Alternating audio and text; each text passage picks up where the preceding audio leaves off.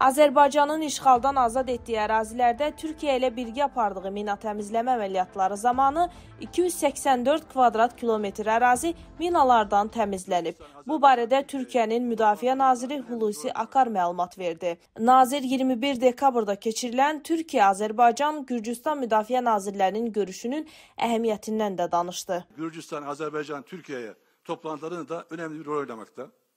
Can kardeşimiz, Can Azerbaycan, 30 yıl işgal altında kalan öz topraklarını bildiğiniz gibi 44 gün süren tek vatan harekatıyla Ermenistan işgalinden kurtarmıştır.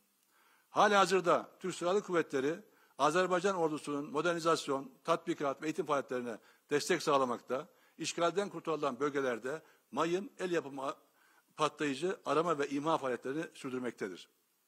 Bu kapsamda şu ana kadar 12 binden fazla personel eğitim verilirken 4500 mühimmat tespit ve imha edilmiştir. 284 kilometre kare alan ise mayınlardan temizlenmiştir. Bu ayın başında ülkelerimizin gücünü ve kararlılığını ortaya koyan geniş kapsamlı kardeş yumruğu tatbikatı da dahil birlikte 12 tatbikat icra edilmiştir.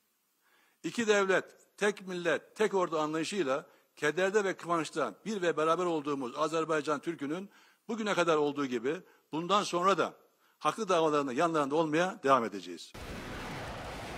Qeyd edək ki, Türkiyə və Azərbaycan arasında hərbi əməkdaşlıq çərçivəsində 2023-cü ildə bir sıra təlimlərin keçirilməsi nəzərdə tutulur. Bundan başqa Türkiyə ilə ölkəmiz arasında müdafiə sənayesi sahəsində də əməkdaşlıq davam etdirilir.